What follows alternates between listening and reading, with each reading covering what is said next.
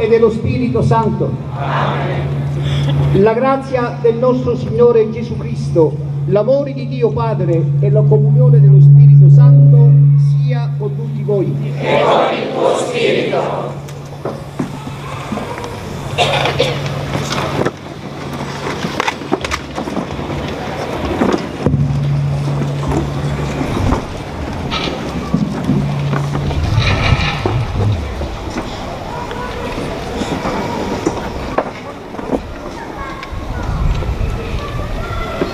Eccellenza Reverendissima, Signor Sindaco, carissimi confratelli, diaconi, seminaristi e fedeli tutti.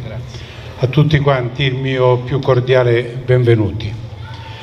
Il 12 agosto del 1950, giorno in cui la città di Rosarno celebrava uno degli avvenimenti più partecipati della sua storia, è ancora impresso nella memoria di questo popolo e in particolare degli anziani facendo seguito al decreto della Santa Sede del 3 giugno 1950 a firma di Papa Pio XII, Sua Eccellenza Monsignor Enrico Nicodemo, Vescovo di Mileto, in questa piazza grevita di fedeli incoronava il bambino Gesù e sua madre, proclamando la Vergine di Nazareth protettrice e custode della città.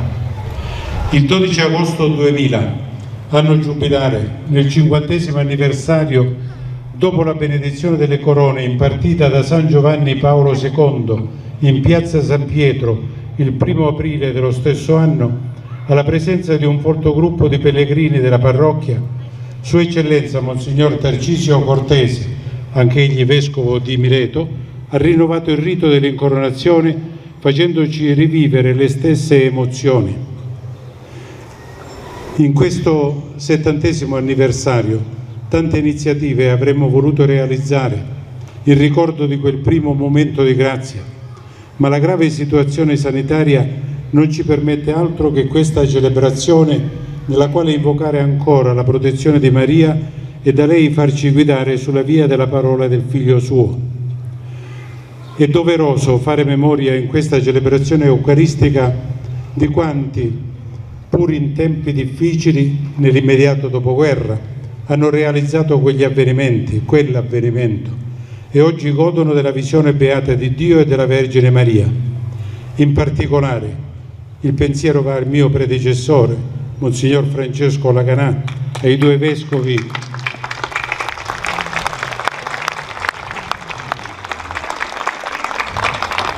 ai due vescovi già citati e ai fedeli laici in particolare al presidente di quel comitato, Saro Lopez, al quale veramente va un, veramente un sentito ringraziamento e un ricordo particolare.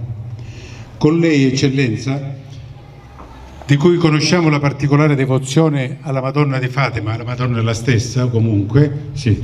vogliamo oggi rinnovare la nostra fedeltà a Cristo e la nostra devozione a Maria, perché ogni nostro passo sia illuminato dalla luce di colei che con il suo sì rese possibile la nostra salvezza. La città di Rosarno si affida ancora una volta alla sua Madonna, ricordando quanto ebbe a suggerire Monsignor Aurelio Sorrentino, arcivescovo di Reggio Calabria, nel quarantesimo dell'incoronazione. Voi fedeli di Rosarno, diceva Monsignor Sorrentino, in questa Madonna vi riconoscete e vi riflettete. Questa Madonna è per voi un sicuro punto di riferimento, un richiamo costante, un sicuro rifugio. A lei guardate e lei invocate. Lei cammina con voi, vi è vicina, vi conforta e vi sostiene. Vogliamo invocarla come già fecero i nostri padri col titolo di Madonna degli spasimi, dei dolori, soprattutto in questo prolungato tempo di pandemia, certi che come ai piedi della croce sarà sempre accanto a noi per custodirci e sostenerci.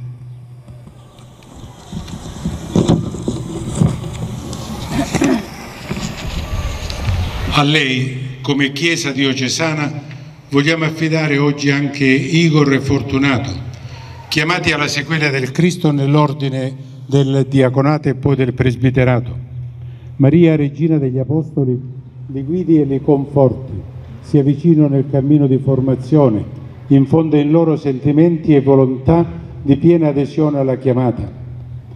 Il loro sì, l'eccomi, sia come quello di Maria nel giorno dell'Annunciazione, piena adesione ai progetti di Dio.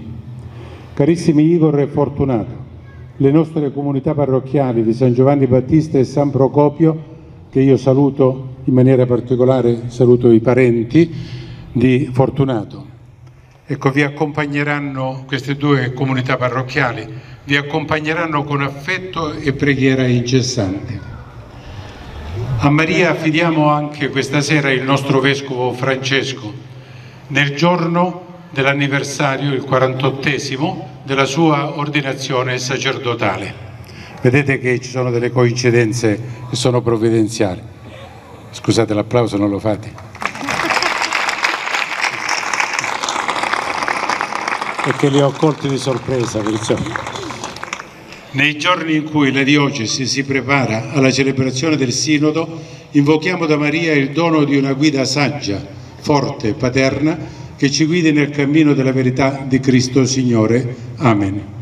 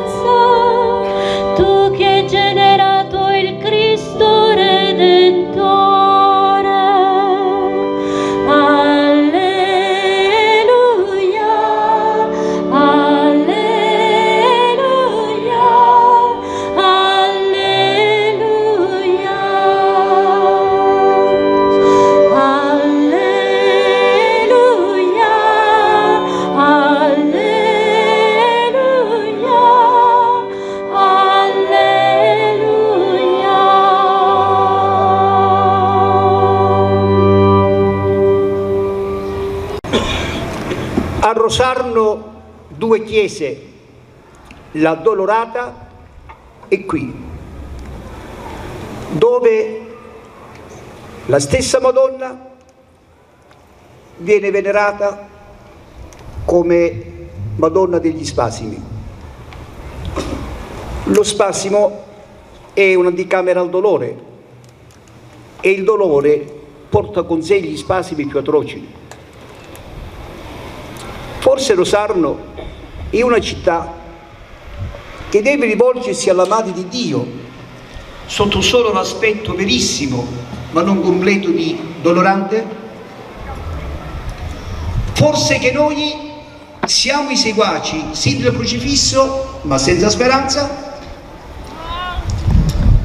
Forse che Maria l'amiamo di più quando sta vicino ai nostri guai anziché quando è causa la nostra letizia?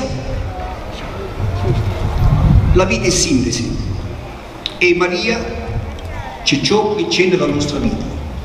E questa sera la parola di Dio mette insieme due donne, una stretta da morsi veramente mortali, Esther. Questa eroina di Israele il cui libro è talmente concepito così bene che gli viene il dubbio se non è stato, se non inventato, appunto ben costruito. Perché la preghiera che abbiamo ascoltato poco fa anticipa ciò che verrà dopo. Esther non sa che il popolo a cui appartiene, se lo zio Mardocheo gliel'avesse detto che l'ha levata, sta per subire un autentico genocidio. Hitler non è stato l'unico nel corso dei secoli che ha pensato di distruggere intere generazioni. Nel secolo XX, per eccellenza il secolo breve, il secolo più violento, ci sono stati genocidi in Armenia, genocidi in tante nazioni e c'è qualcuno che pensava di ripetere la stessa esperienza. Esther si trova ad essere regina, scelta tra le tante, perché nei disegni di Dio arrivano momenti in cui egli dimostra veramente la sua onnipotenza sulla strapotenza di chi crede di disporre della vita degli altri a piacimento. C'è stato un primo ministro che come sempre invece tante volte di servire si serve del potere per essere oppressivo, che aveva decretato su falsi presupposti la distruzione del popolo di Israele. E ad Esther, che sta vicino a questo suo sposo, lei la prediletta tra le tante, viene chiesto di intercedere. Ma Esther sa che se il re non le permetterà quando non c'è udienza di andare davanti a lui, la prima ad essere sconfitta è lei. Per questo ha la preghiera. È una preghiera in cui, come tutte quelle di Israele, non l'impostazione, ma la logica, lo sviluppo è il modello di ogni preghiera. Esther si fa al Dio dei suoi padri, Abramo, Isacco da Giacobbe. Esther ricorda che questo Dio ha sempre mantenuto fede alla sua alleanza nel corso dei secoli. Che adesso... E sappiamo questo miracolo, che in quel mangiare molto capienti l'acqua diventa vino con la testa di veleno. Essere sta soffrendo un pericolo mortale e con la preghiera ottiene che ci sia la salvezza. Maria in un momento bello, non di spasimo ma di gioia, nella preghiera al figlio ottiene che la gioia permane. Ecco che Maria, ci è sempre vicino. Ed ecco che il popolo cristiano lungo i secoli ha avuto in lei un riferimento sicurissimo. Non è una specie di alienazione spirituale per dire abbiamo una mamma qua giù e non sembra mamma qua giù, sono mamme veramente sud. Due prediletti dal Signore, due su cui tra tantissimi si è postato il suo sguardo, due le cui famiglie sono state visitate dal Signore, vengono accolte dalla Chiesa, prese dalle mani come una madre per dire adesso continuate, cercate di capire che significa quanto state facendo e andate avanti con fiducia. Capite che c'è una corrispondenza molto forte un giorno a Maria è stata detto di godere, di gioire. E Maria con una domanda precisa. E dove troverei questi motivi di gioia, carissimo Gabriele, che neanche ti conosco? Te lo dico io, perché Dio su di te ha messo gli occhi, tant'è che diventerà la madre del Salvatore. Io madre, stati tranquilli. Io non sposata, Dio fa l'impossibile per le cose possibili. Stessa cosa per loro. Noi giovani capaci di inserirci in un circuito in cui, come Maria, siamo chiamati a portare, non nel grembo, ma nella vita, Cristo al mondo? Noi, piccoli, giovani, attenti quando vogliamo, ma ancora inesperti, con tanto cammino davanti, resi degni di tale attenzione? Sì, siamo sempre a quel Signore che ci prende talmente sul serio da affidarci anche le sorti della Chiesa. I misteri principali della fede sono due e si può capire perché sono misteri. È la difficoltà di capire i misteri. Unità e Trinità di Dio, un solo Dio, tre persone. Non è un assurdo. incarnazione, passione e morte di nostro Signore Gesù Cristo, come un Dio che non disdegna la natura umana, anzi muore per noi ignominioso. Con molta modestia e molto garbo, io da anni ne aggiungo un altro, e dell'umanità della Chiesa.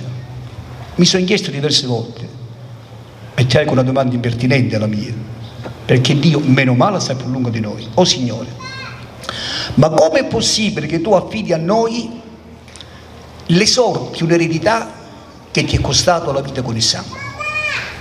Eri Dio e ti fidi di noi che siamo capaci di dirti sì, i ni, i no, addirittura di tradirti non un istante come Pietro o disparatamente come Giuda, ma per via di fatto, pur essendo apparentemente fedeli per tutta la vita. Signore, come la mettiamo? Risposta, Franco, stati zitto. Non c'è né Padre Eterno, né Gesù Cristo, né la Chiesa l'hai fatta tu. Questo riempie la nostra vita di una fiducia sconfinata e di un impegno sconfinato.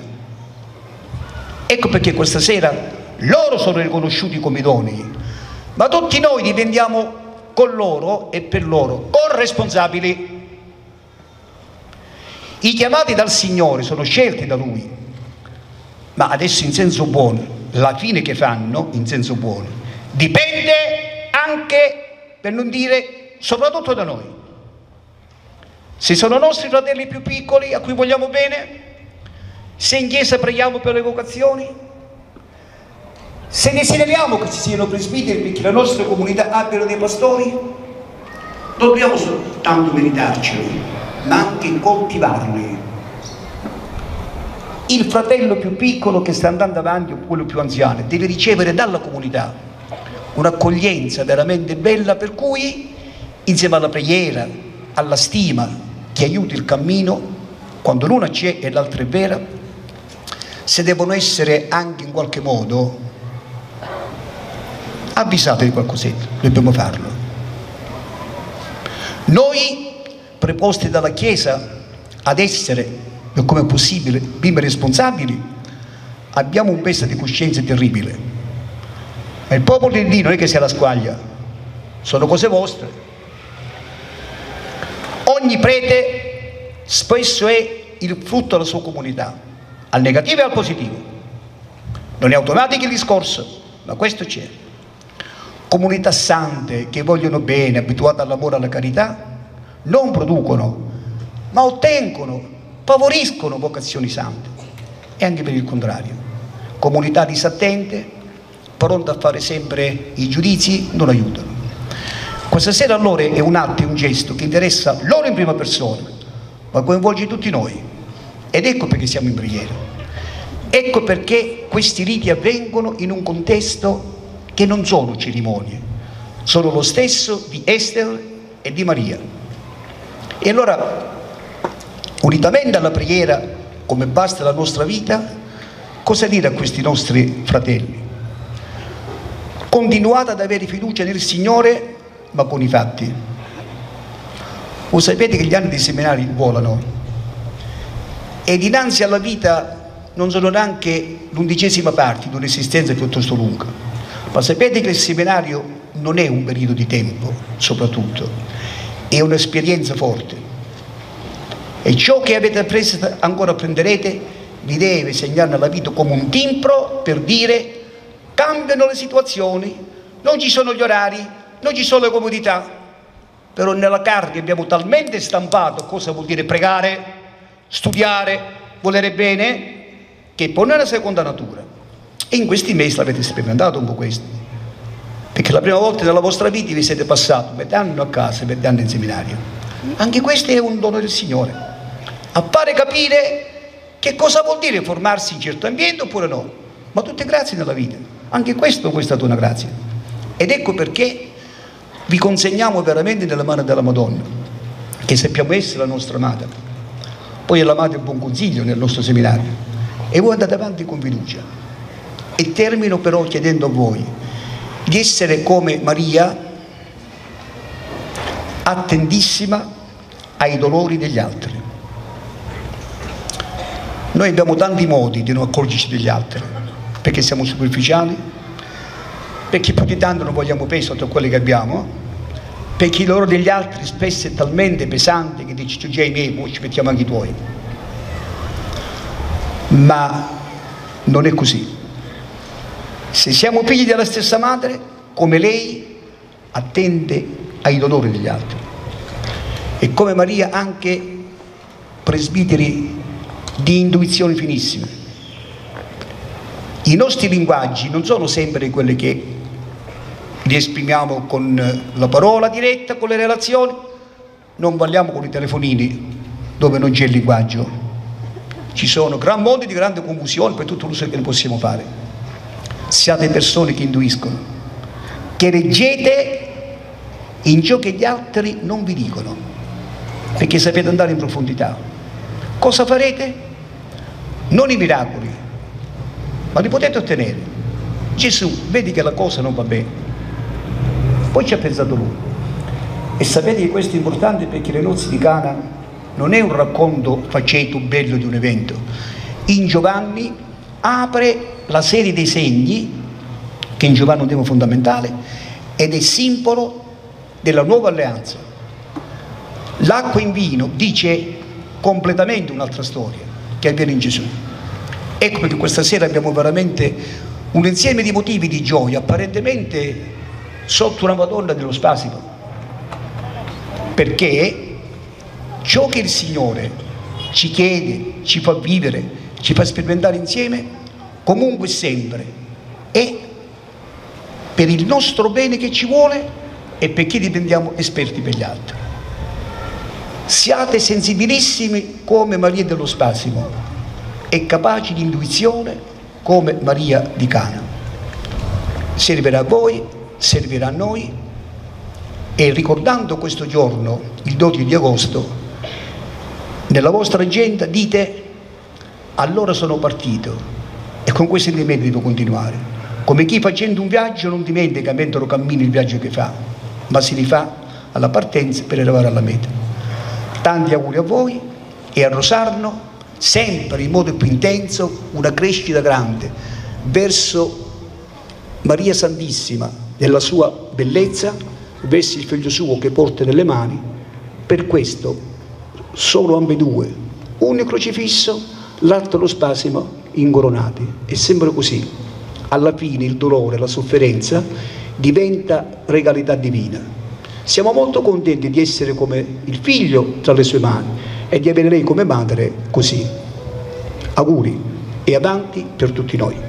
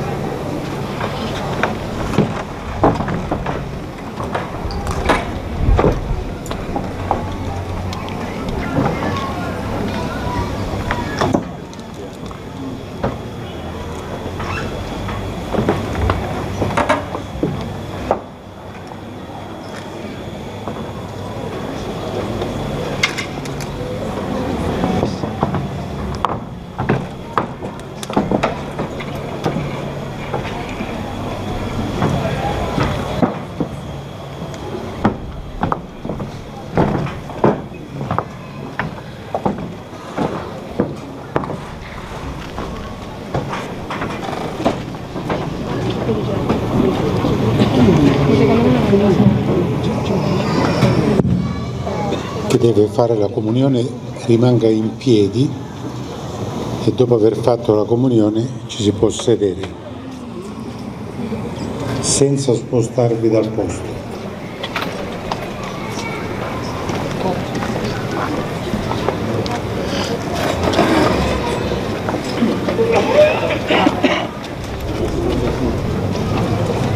Corpo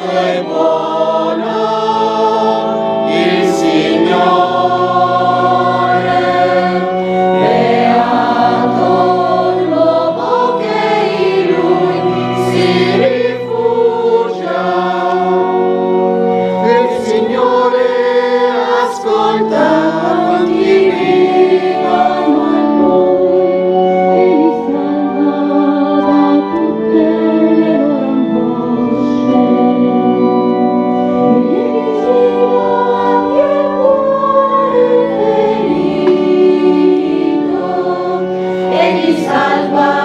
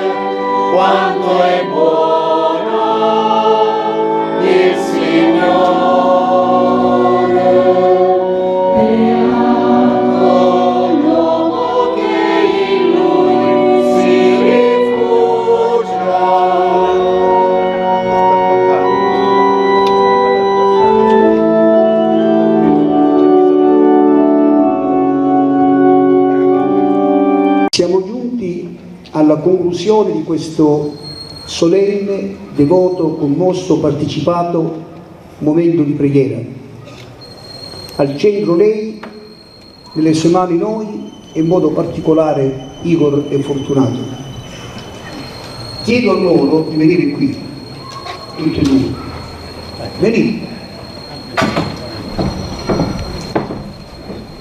Vi abbiamo sentito dire sì, eccomi.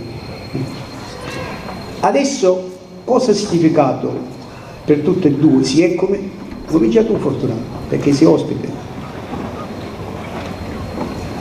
Sì.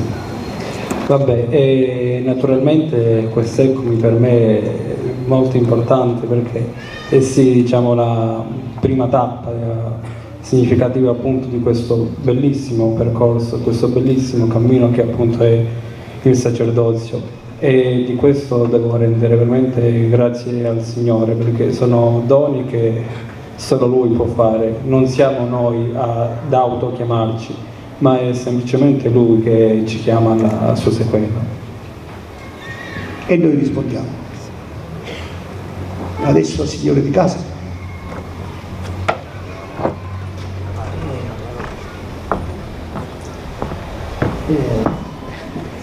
E,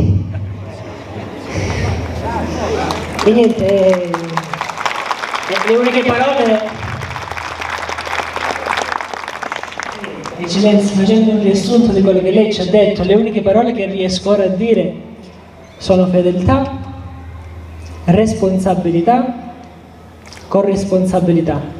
Il tutto sotto lo sguardo di Dio, della Vergine e della Chiesa e San Giovanni Battista. Tanto sapete che San Giovanni Battista ha decollato, giusto per restare in temi di pace, e Cosme e dall'altra parte siamo proprio tra malati, molto ammazzati siamo proprio, ma nella Chiesa però. Ma adesso una domanda a tutti e due. Pensateci bene, ma senza farci perdere molto tempo, no? Che cosa vi accomuna nelle vostre origini cristiane? Il martirio. È buono che siete morti, che martirio. Il, il, il martirio. Eh, che sono cose scontate, eh, sì. Riguardo alla Madonna, cosa vi accomuna? Ah, vabbè. Ah. vabbè. anche a San Procopio eh, abbiamo la Madonna degli Afflitti che è appunto la padrona del nostro paese. È la nostra, la Madonna degli Spasimi, quindi. Afflitti e stasti ci siamo, no? Però è anche consuatici degli afflitti e causa nostra crisi. Ci siamo? Tranquilli? Mi raccomando tutto. Domani sera avremo in un altro centro, poi vicinissimo qua a Gioia d'Auro, l'occasione del festa di Sant'Ippolito, altri due che faranno la missione agli Ordini come questa sera e sono qui presenti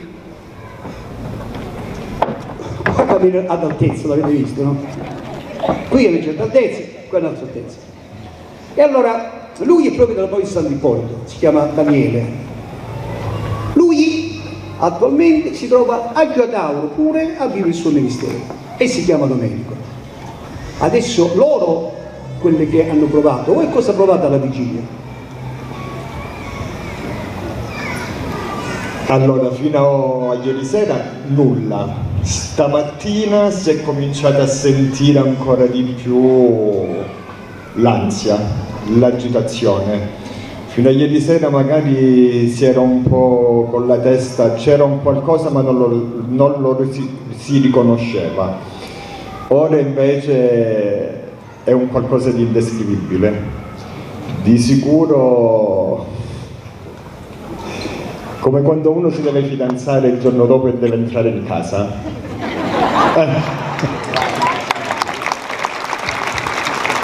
Una sorta di prefidanzamento. Eh, sono emozioni che comunque ci sono, si sentono, ma non lo si può spiegare, non, non si riescono a definire.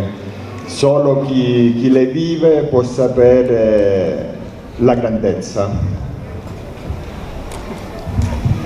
Vabbè, anch'io emozione, ansia, anche paura naturalmente. E di, di dire anche io e Daniele domani sì. L'invito che potrei fare questa sera ai giovani che ci sono è di prendere in mano la propria vita e di metterla realmente nelle mani di Dio, come ha fatto Maria e tanti altri. Anche perché il nostro essere cristiani è andare e mirare no? una meta che è la santità. Quest'anno eh, un tema particolare eh, anche della famiglia salesiana era essere santi dove siamo. Ecco, anche qui a Rosarno, a Gioia Tauro, in questa diocesi, miriamo a essere veramente santi. Noi e Daniele Fortunato cioè, e Igor lo dimostriamo in questo, ma anche altri speriamo, no? nella, nella propria nostra vocazione.